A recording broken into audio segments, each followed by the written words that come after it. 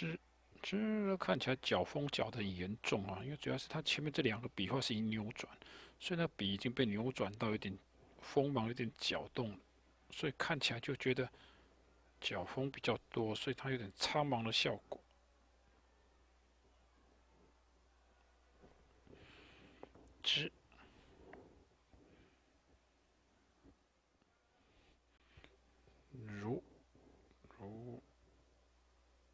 这里稍微有点放松啊，所以它的线条并不是光洁的啊，是微微的颤动着。这里也是饱满变瘦，推出去，然后这口小小的啊，就写近一点，让它连在一起。好，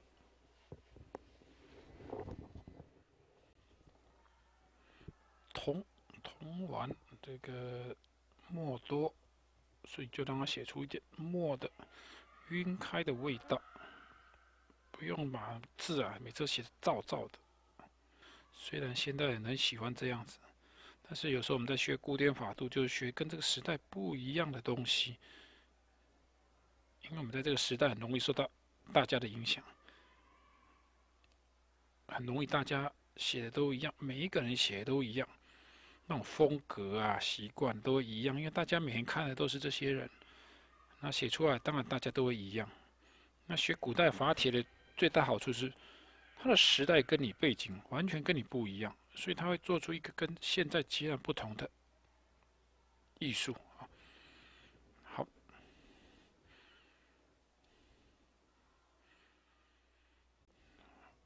玩第一笔，它放的比较轻松哈，所以略有点晃动，并不是纯直线。第二笔就比较脚风哈，尤其在这经过这个地方扭转以后，其笔开始破掉扭的。绞上去的效果，啊，那这个点哦也是破破的哦，挤在这个位置上，完，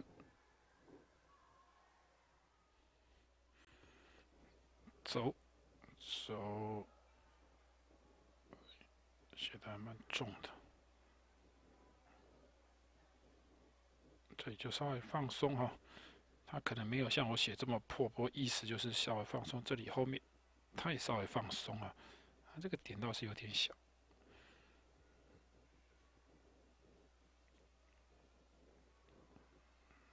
啊，这里一样，这里收紧，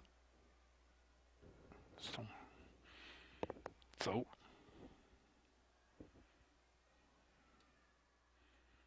板板图要写的小，比较紧啊，也是都逆入平出，那有时候逆入，有时候平的。平入有时候圆入哦，不一定哦。这所以它前面的起笔圆的或方的，倒没有说一定要怎么写哈。它也尝试让它有点不太一样哈，不要套什么公式，一定是方或一定圆。有时候随着笔性会有改变。那这里其实它它也是放松，这个其实就虚掉。这种虚掉笔画在里面并不多哈。那你说它为什么可以虚掉？偶尔一下是没有关系。其实写字啊，就是人写的。人啊，就是有一点瑕疵才会觉得像人。有时候我们觉得有些字写的很完整，而不好看，因为不像人，像机械。板